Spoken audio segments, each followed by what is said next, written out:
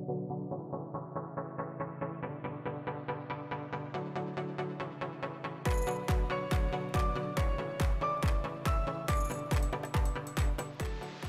Morgen, ihr Lieben. Ihr seht die Sonne scheint. Das ist auch ein richtig schöner Tag. Es ist auch schon richtig warm. Da kann ich mein Fließpulli, glaube ich, gleich ausziehen. Zumindest jetzt hier erstmal auf dem Platz. Beim Fahrtwind weiß ich noch nicht. Da bleibe ich vielleicht noch an. Ich habe mir jetzt mein Frühstück gemacht. Gibt es hier wieder einen Cappuccino. Und dazu ein Müsli, ein Polsch. So, jetzt wird das. Und dazu mache ich mir noch ein paar Äpfelchen rein und den Joghurt rühre ich mir da noch ein. Und das ist dann meistens so viel, dass ich das gar nicht alles aufesse. Das heißt, das bleibt dann schön in dieser Dose und wird mitgenommen. Und das gibt es dann irgendwann in einer Stunde als zweites Frühstück, wenn ich eine Stunde unterwegs bin. Ja, also erstmal frühstücken. Bis später. Ich habe gut geschlafen. Es hat heute Nacht mal nicht geregnet. Aber der Morgentau, das Zelt ist halt immer noch ziemlich nass. Ich habe das noch ein bisschen stehen lassen, als die Sonne rumkam, habe in Ruhe gefrühstückt. Und jetzt ist es 9.33 Uhr. Schauen wir mal, heute ist Samstag, 2. September. Mal gucken, wie viele Leute hier so unterwegs sind. Bei dem schönen Wetter könnte ich mir vorstellen, dass hier einige unterwegs sind. Und da gibt es bestimmt auch einiges an Gastronomie heute, was auf hat. Und das werde ich sicherlich mal nutzen. Das ist ein Weidendom. Schön, da kann man sich nicht trauen, sich trauen lassen. Kirche natürlich, schön.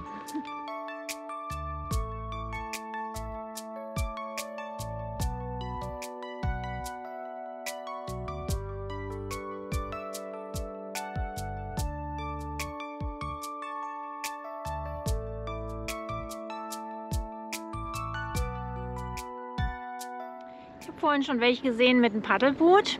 Die haben zumindest ausgeladen. Kann durchaus sein, dass ich hier heute ein paar Paddler sehe. Denn das kann man sicherlich gut machen. So, was kommt jetzt als nächstes? Sollenhofen.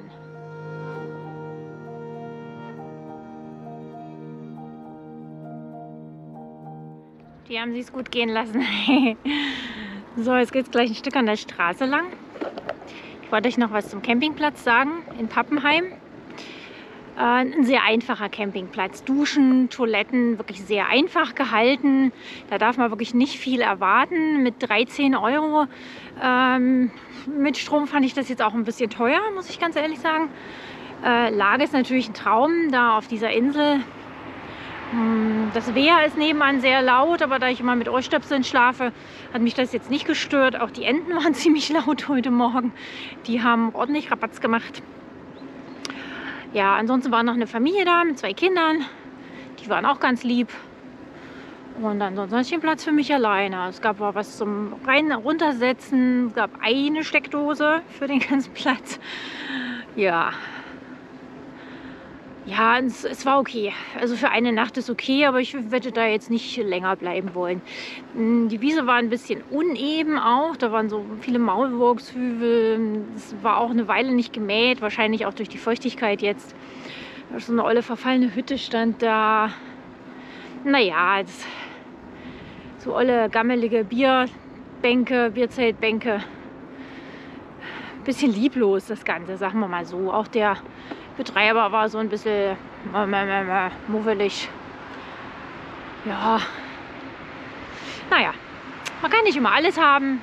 Es gibt schöne und schlechte und gute und weniger gute und äh, gemütliche und weniger gemütliche. Und es ist auf jeden Fall interessant, was man alles so an Campingplätzen sieht, wenn man so unterwegs ist. Mal gucken, wo ich heute übernachte, wie das ist.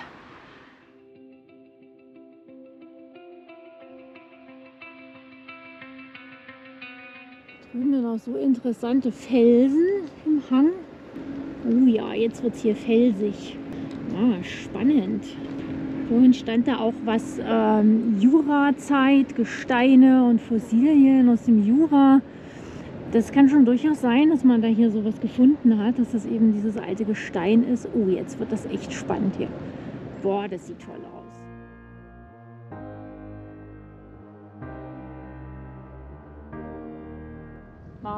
Guck mal, das ist ja cool. Und die Schwalben, schön. Die nisten da oder ihre Nester da oben in dem Felsen. Boah, das sieht ja echt toll aus. Das ist ja der Wahnsinn.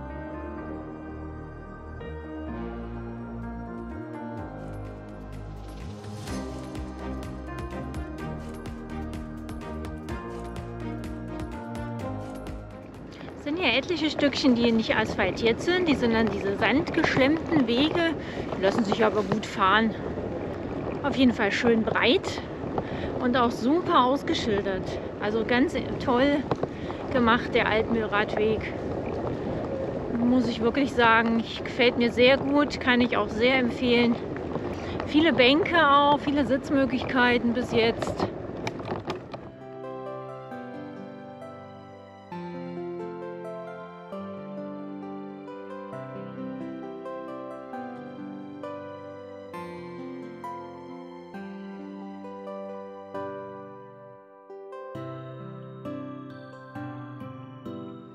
So vereinzelt habe ich jetzt auch ein paar Leute getroffen mit Gepäck und natürlich auch ein paar Tagesausflügler. Aber es ist jetzt nicht überlaufen, die Strecke. Also man ist wirklich hier auch ganz viel alleine. Sehr schön und die Landschaft ist echt ein Traum.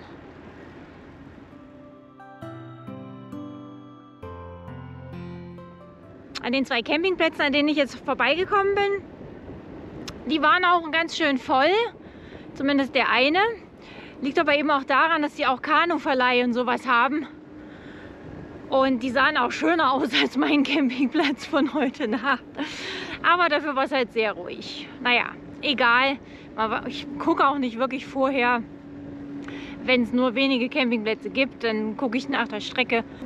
Dann gucke ich, welcher von der Kilometerzahl passt. Und dann ist es mir eigentlich auch egal. Hauptsache ich habe eine, eine Dusche, eine Toilette und äh, einen Platz und ich habe Strom bin ja nur für eine Nacht. Wenn ich mal irgendwie länger bleiben würde, dann würde ich mir natürlich schon die Homepages ein bisschen genauer angucken und auch die Bewertungen. Aber für eine Nacht sehe ich das entspannt und so mache ich das eigentlich auch, wenn ich äh, feste Unterkünfte habe. Bin ich da nur eine Nacht, gucke ich, dass es nicht an der Hauptverkehrsstraße liegt und halbwegs ruhig ist und das Fahrrad einschließen kann und sowas. Alles andere ist mir dann eigentlich egal.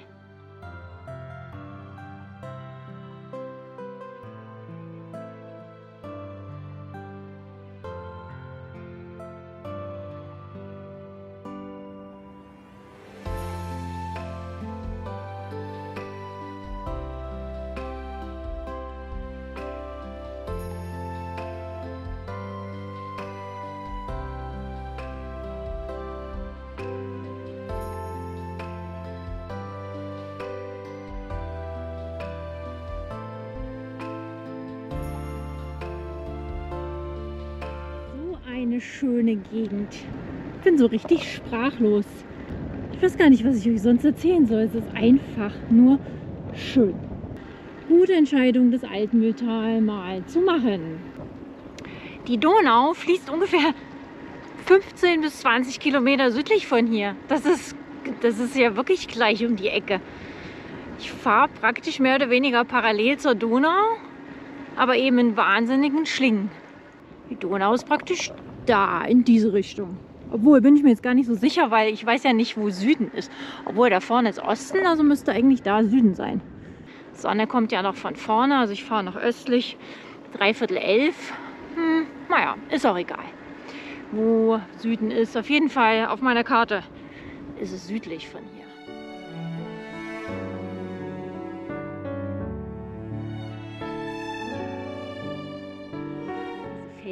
Das ist echt toll. Das macht das Ganze nochmal interessanter. Weil nur jetzt so Wald und Feld und Fluss, das äh, ist auf Dauer dann doch ein bisschen eintönig. Aber mit diesen Felsen, das finde ich echt spannend. Und hier sind jetzt auch echt ein paar Leute unterwegs. So ab Dollenstein war da jetzt echt was los. Der nächste Ort ist dann Eichstätt. Ja, da brauche ich heute, glaube ich, einiges an Speicherplatz.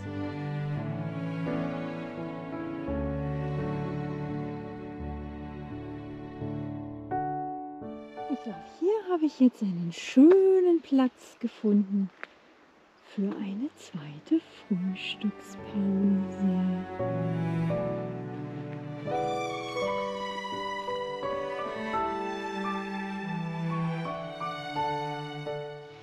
So, dann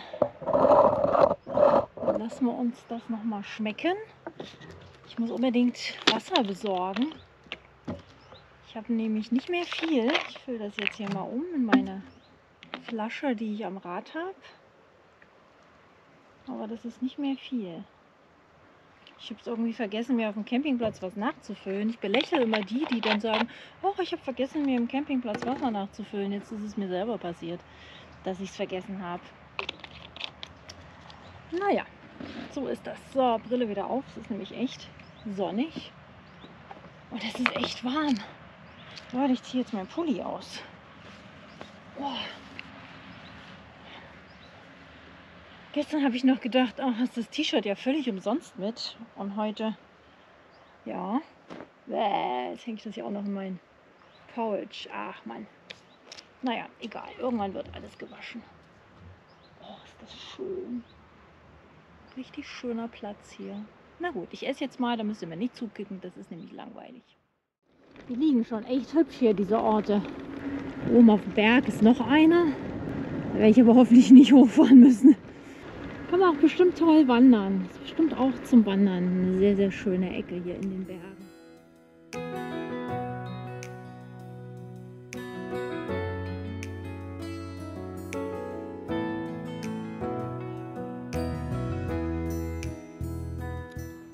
Hoffe, dass es solche kleinen gastlichen Sachen öfters gibt.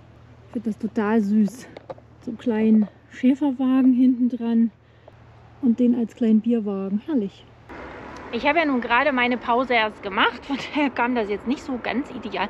Außerdem brauche ich äh, einen Supermarkt, um Wasser nachzukaufen oder zumindest einen Trinkwasserhahn irgendwo.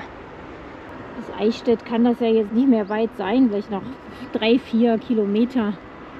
Nach jeder Kurve kommt hier ein neues, imposantes ja, ein neuer imposanter Anblick. Also einfach nur wunderbar. Und das Wetter, das trägt natürlich heute dazu bei, dass es einfach nur schön ist. Ich weiß, ich wiederhole mich, aber es ist halt einfach nur schön. Obereichstätt ist das jetzt hier schon. Okay, na dann sind wir ja gleich in Eichstätt. Na, sehr gut. Dieses Grün, ne, das ist ja unglaublich. Es ist ja nur grün hier in verschiedenen Schattierungen, aber nur grün. Und grün ist ja so eine entspannende Farbe für die Augen und für die Seele. Also von daher genießt es, wenn ihr irgendwo im Grünen seid. Das, ist, das reduziert Stress. Das ist einfach nur schön.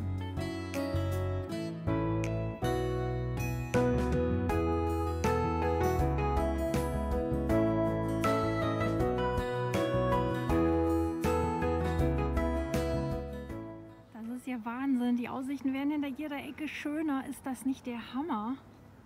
Einfach nur cool.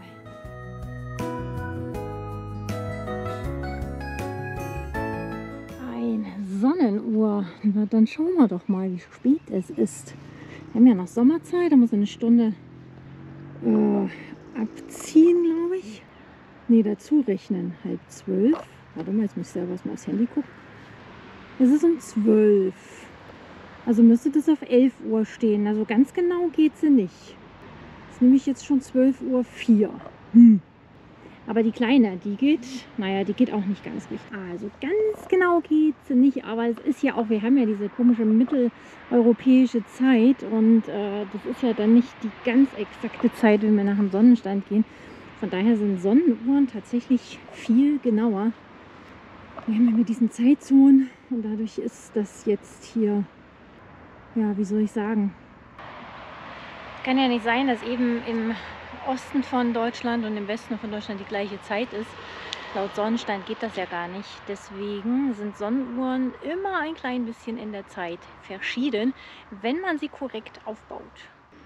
So, Päuschen mache ich jetzt nicht. Ich fahre jetzt tatsächlich noch das Stück bis Eichstätt.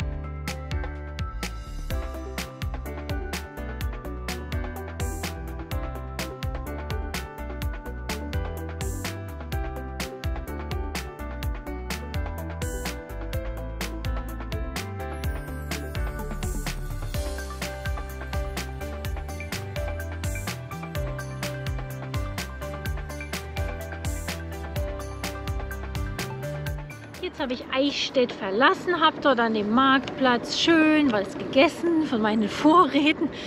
Meine Taschen sind so voll. Ich habe im Edeka ordentlich zugeschlagen, weil morgen ist ja Sonntag. Äh, das hätte ich total vergessen, wenn ich mich bei der Sonnenuhr mit den Leuten dort unterhalten hätte. Und so habe ich jetzt gleich für heute und morgen mein Essen alles dabei. Ja, und dann bin ich da auch flexibel und unabhängig. So, wir sind jetzt übrigens noch nicht mehr in Franken. Habe ich mich jetzt belehren lassen, dass das nicht mehr Franken ist. Äh, ja, man hört es auch an der Sprache irgendwo. Himmel hat sich jetzt ein bisschen zugezogen, ist aber nicht schlimm. Es ist trotzdem noch warm. Ich fahre kurzärmlich, also schön. 2. September passt.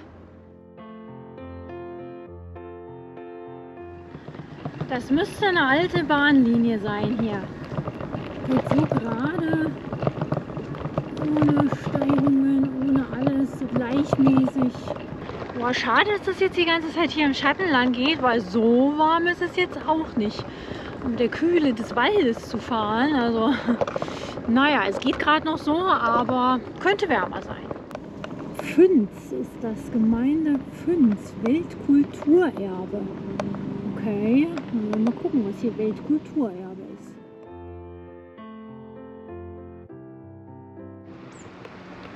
Okay, auf dem Schild stand des Resels Lösung. Das ist der Limes. Das ist das Weltkulturerbe. Und das ist irgendwie so ein römisches Kastell, irgendwas. Für mich heute nicht interessant. Oder? Fahren wir da mal hin. Können wir auch mal hinfahren, ne?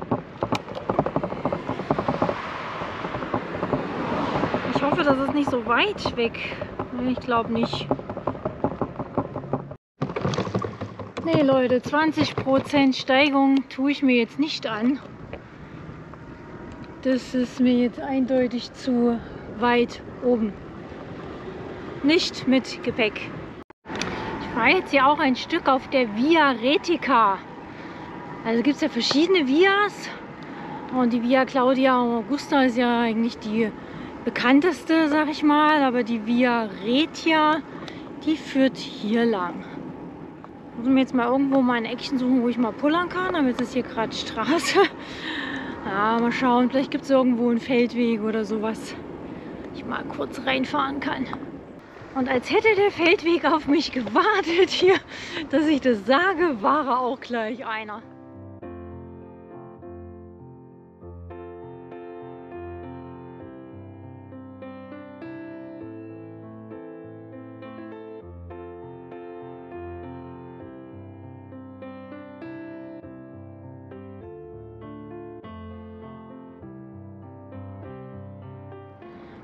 Ich euch mal was sagen? Ich hätte jetzt gern mal wieder eine andere Landschaft. Es reicht jetzt erstmal. Ich hätte es gern mal wieder entweder was Weites oder irgendwas, wo ich von der Höhe runter gucken kann. Ah, ja, so ist das halt bei mir. Deswegen fahre ich ungern solche kompletten Radwege, weil ich weiß, wenn das dann tagelang immer dieselbe Landschaft ist, äh, ja, finde ich dann langweilig irgendwann. Also entweder gibt es wirklich ganz, ganz viele tolle Ortschaften, ja, oder es gibt eben unterschiedliche Landschaften. Da hat mir eigentlich am besten gefallen, von allen Radwegen, die ich bis jetzt gemacht habe, die jetzt auch einen Namen haben, einmal die romantische Straße, bin ich von Meiningen bis nach Füssen gefahren, über Würzburg, Rothenburg, Dinkelsbühl, Augsburg, das war sehr, sehr schön, auch abwechslungsreich. Und die, äh, den Leine-Heide-Radweg. Von Leinefelde bei uns in Thüringen im Eichsfeld bis hoch nach Hamburg. Und von da bin ich dann weiter über Ratzeburg, Travemünde, Lübeck oder andersrum Ratzeburg, Lübeck, Travemünde, äh, die Ost, nee, Quatsch, doch die Ostseeküste bis Flensburg. Das war auch abwechslungsreich. Da gab es auch unterschiedlichste Landschaften, viele schöne Orte. Das kann ich auch sehr, sehr empfehlen. Es war schön, aber irgendwie sieht es jetzt immer gleich aus. Das Tal ist jetzt ein bisschen weiter geworden, ja. Und der Himmel hat sich auch wieder etwas, ja, etwas entwölkt. So, weiß-blauer Himmel, sagt man ja schön. Typisch Bayern. Kleine Wölkchen auf blauem Himmel. Das sieht aus wie Raps, aber ich glaube, das ist keiner mehr. Das muss irgendwas anderes sein. Es riecht aber wie Raps. Weil im September blüht kein Raps mehr. Also bei aller Liebe. Das sind echt so total beschauliche Dörfer. Irgendwie süß.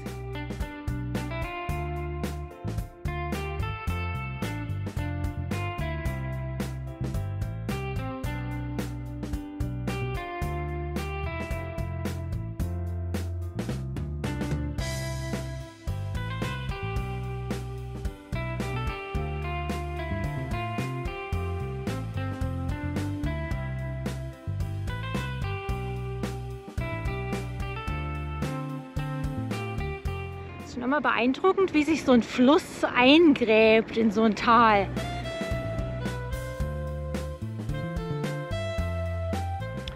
Da oben auf dem Felsen ist eine Burg. Passt sich farblich natürlich total dem Felsen an. Da unten steht auch einer im Wasser. Der hat Kopfhörer auf. Ich vermute mal, der hat irgendwie eine Sonde und sucht irgendwas Wertgegenstände. Weiß ich nicht, ob der so ein, so ein, so nah hat, ob der irgendwelche verloren gegangenen, über Bord gegangenen Wertgegenstände sucht. Keine Ahnung. So, jetzt kommen hier noch mal ein paar Bötchen. Ja, macht ganz schöne Schlingen hier jetzt, die Altmühl. Da muss ich noch rum irgendwie, um so ein paar Schlingen.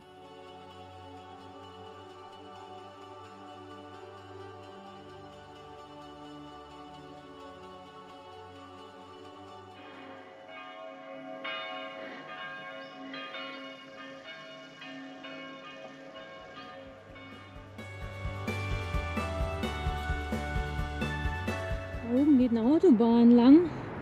Da hat man die eine Spur etwas tiefer als die andere. Also das ist hier die Spur, die mir am nächsten ist und dann so ein Stückchen weiter höher ist die andere Spur. Und da vorne kommen die dann irgendwo wieder zusammen. Ich weiß jetzt gar nicht, was das für eine Autobahn ist. Muss ich dann mal gucken. Jetzt habe ich gerade ein bisschen hin und her überlegt, habe nochmal geguckt wegen Campingplätzen. Ich hätte jetzt hier in Kipfenberg, der sah auch sehr, sehr schön aus, übernachten können, aber mir ist das jetzt noch ein bisschen zu früh. Deswegen fahre ich jetzt noch weiter. Der nächste Ort äh, Campingplatz ist kurz vor Bayernkries und in Bayernkries nochmal. Und das sind noch so 10 Kilometer ungefähr. Das werde ich jetzt noch fahren. Da bin ich dann so gegen vier auf dem Campingplatz. Das passt. Jo. Früher muss es jetzt nicht sein, also halb vier oder um drei ist vielleicht noch ein bisschen früh. Habe ich auch schon gemacht. Aber da war dann noch ein Badesee oder sowas, dass ich dann gesagt habe, okay, heute einfach mal baden. Aber baden ist, glaube ich, dann doch heute nicht mehr so angebracht. so. Und dann reicht es mir auch für heute.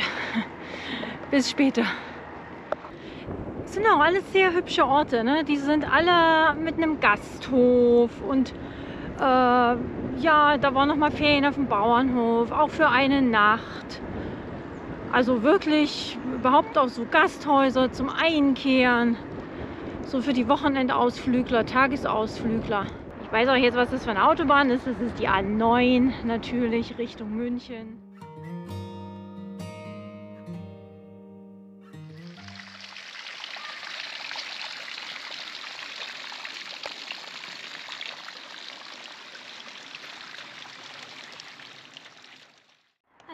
Hier aber noch mal so ein paar ganz kleine, knackige Anstiege.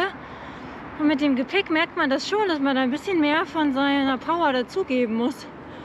Und das zehrt natürlich auch gleich richtig an der Reichweite. Bin jetzt im Eco, habe noch 21 Kilometer Reichweite. Gefahren bin ich hauptsächlich im Tour. Auch ein ganzes Stück im Eco.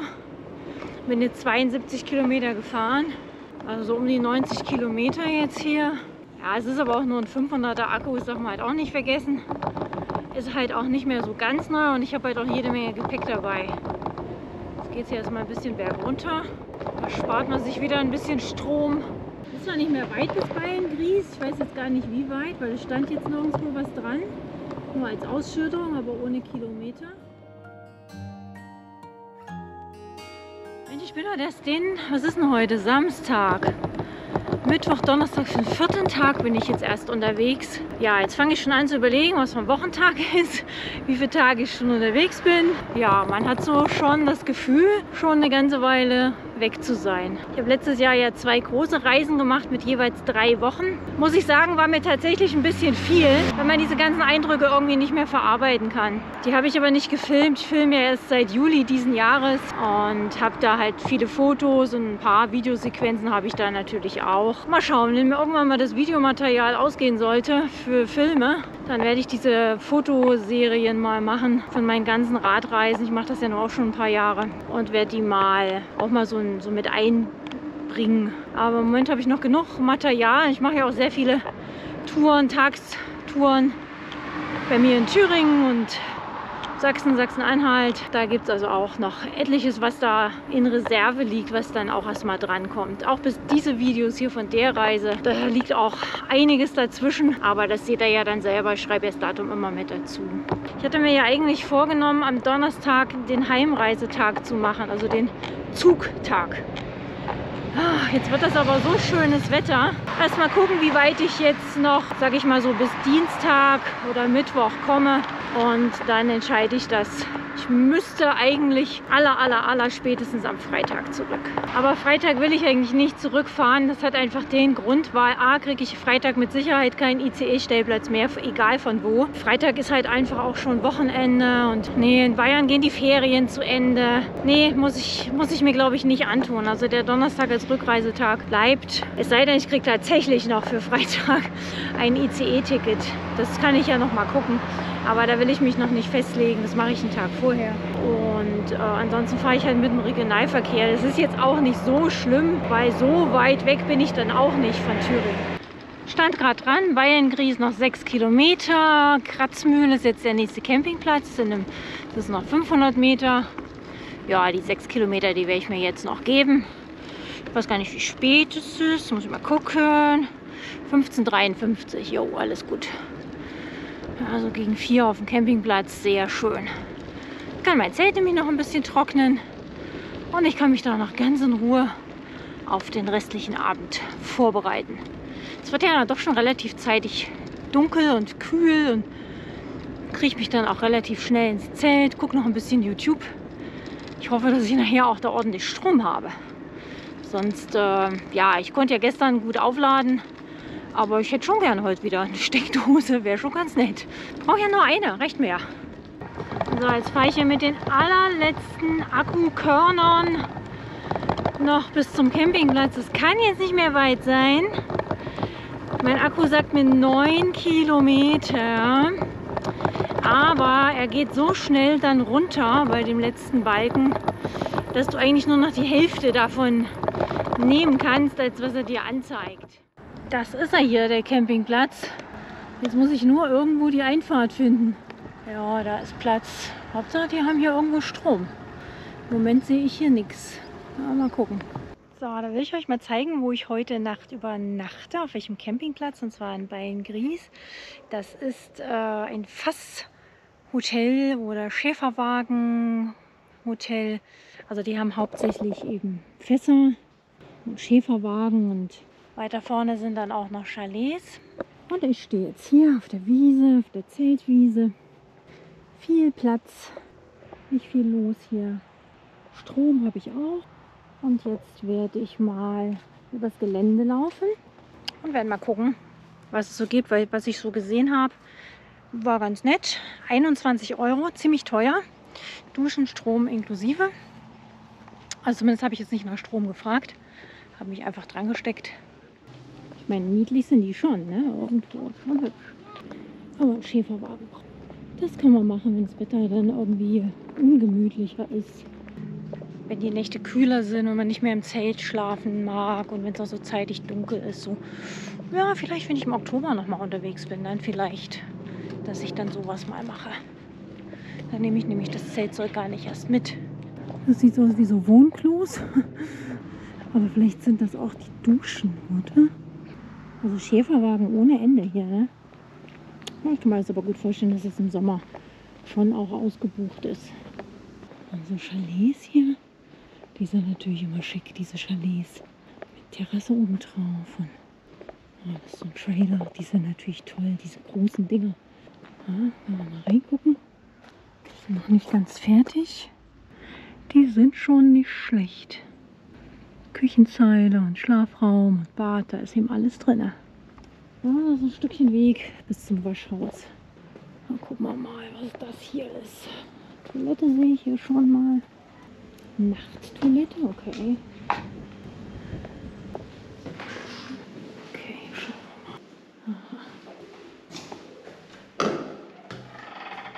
Oh ja, hm, sieht gut aus. Schön, perfekt.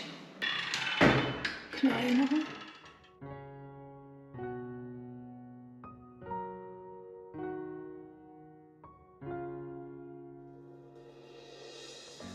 Diese weißen Dinger sind tatsächlich so Toiletten und Duschhäuser. Ich denke mal, die kann man dann privat mieten.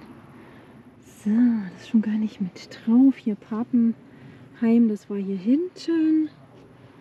So, das bin ich alles heute gefahren. Das war die tolle Burg da oben. Eichstätt habe ich Päuschen gemacht.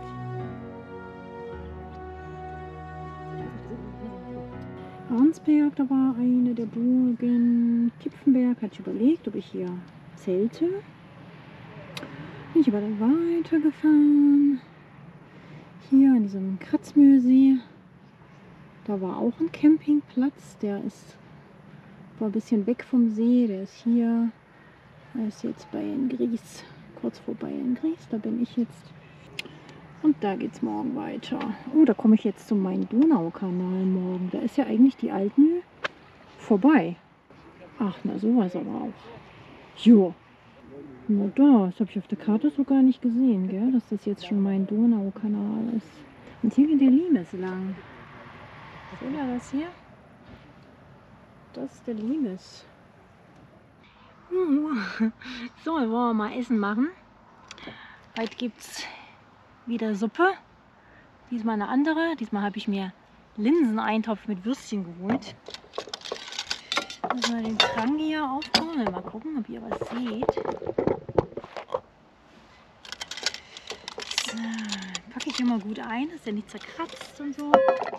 Weil ich habe mir nämlich ein, schon eine so eine Pfanne nachkaufen müssen, weil ich diese Folie rausgemacht habe und dann immer als Deckel und dann ist das total zerkratzt. Und seitdem bin ich da ein bisschen vorsichtig.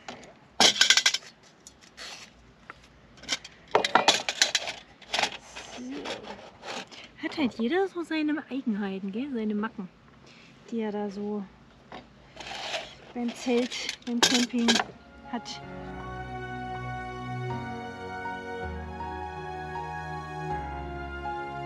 So, immer kriegt das jetzt so mit drauf. Äh, Gibt es das denn hier? Ich habe mittlerweile diverse angefangene Gaskartuschen, was natürlich Blödsinn ist. Na, rauskommen sollte es ja wenigstens auch. Ah, das werde ich noch ein bisschen verdünnen mit Wasser. Extra noch Wasser geholt gerade vorne. Aber das wäre jetzt eine richtige Suppe. Und nicht hier so eine Pampe. So, dann lassen wir das mal ein bisschen köcheln. Und dann bis später. Ich habe auch den ganzen Tag nicht wirklich viel gegessen, deswegen kommt mir das jetzt hier gerade sehr gelegen, dass ich jetzt hier einen Pott habe. So, den werde ich jetzt gemütlich essen und werde gleich mal so ein kleines Fazit von heute noch machen. Traumhaft schöne Landschaft, keine Frage. Wunderschön, toll ausgebaut, toll ausgeschildert, überall so kleine Gasthöfe. Es war auch gut was los auf der Strecke, aber es war jetzt nicht überlaufen. Ja, der Campingplatz für 21 Euro ist okay, dafür, dass man hier keinen Wasseranschluss hat und die Toiletten eben auch ein Stückchen weg sind. Hm, naja, okay. Reden wir nicht drüber. Äh, würde ich das nächste Mal, glaube ich, anders machen. Ich konnte aber tatsächlich keine Preise sehen irgendwie auf dem auf der Homepage oder ich habe nicht richtig geguckt. Ich hätte vielleicht da vorne doch an der Kratzmühle bleiben sollen. Das waren halt über 80 Kilometer heute. Es rollte sich gut, ansonsten wäre es mir eigentlich zu lange gewesen bin eigentlich eher so, ja, war so kurz nach vier hier, das ist okay, Zelt aufgebaut und allem drum und dran. Jetzt ist es, muss ich gucken, 17,52. Ja, jetzt werde ich was essen, dann werde ich duschen gehen, wenn die Sonne hier so ein bisschen weg ist, was sie auch gleich macht hinter den Bäumen. Und dann lasse ich den Abend in Ruhe ausklingen und wenn es dann dunkel wird, kriege ich mich in mein Zeltchen, gucke noch ein bisschen YouTube. Ich habe jetzt Strom im Zelt. Das heißt, da habe ich heute überhaupt keinen Stress mit irgendwelchen Sachen, die ich noch nachladen muss und wo ich noch mal rausgucken muss und so. So, frisch geduscht. Haare habe ich heute nicht gewaschen. Das mache ich eigentlich nur jeden zweiten Tag. Oh, meinen dünnen Fuß und ich muss sie unbedingt wieder färben. Gruselig sieht das ja aus in der Kamera. Na egal. So, ja. Gegessen habe ich auch. Satt bin ich. Und dann gucke ich jetzt noch ein bisschen YouTube-Videos. Und dann geht es ab in die Haier. Ich muss ja sagen, so dieses Ende August, Anfang September, wenn das nicht schon so zeitig dunkel wäre, das ist eine echt coole Reisezeit, weil diese Hauptferien sind rum und äh, es ist nicht mehr so heiß. Also man kann das echt gut aushalten. Und auf den Campingplätzen kriegt man überall Platz. Also das war überhaupt kein Problem. Ich musste mich nicht mal anmelden.